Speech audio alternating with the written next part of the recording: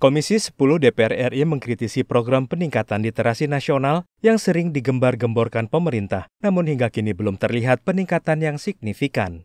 Anggota Komisi 10 DPR RI Andreas Hugo Pareira mengatakan, langkah meningkatkan literasi bukan hanya dengan merubah nomenklatur kelembagaan, tetapi bagaimana cara mengukur indeks kualitas literasi juga perlu dipikirkan.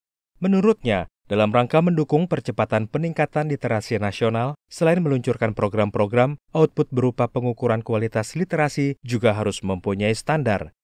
Ya, ajar mengajar terus kemudian di dalam pembahasan-pembahasan kami dengan uh, Kementerian Pendidikan itu jarang sekali. Bahkan saya belum pernah dengar soal apa menyinggung soal kualitas literasi dan meningkatkan kualitas literasi manusia Indonesia gitu.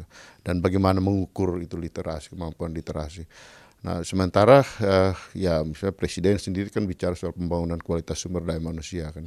Nah, saya kira ini perlu menjadi uh, apa ya kesadaran bersama kita untuk memang ini kritik otokritik ya sebagai bagian dari anak bangsa Republik Indonesia ini supaya kita sama-sama memberikan perhatian gitu.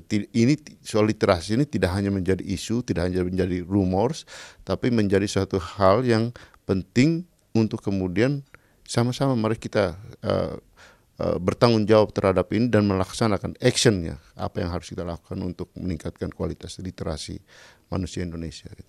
Andreas menambahkan perlu adanya kerjasama dan kolaborasi semua pihak serta dukungan dari masyarakat untuk melakukan aksi nyata demi meningkatkan kualitas literasi. Raihan dan Temi, TVR Parlemen melaporkan.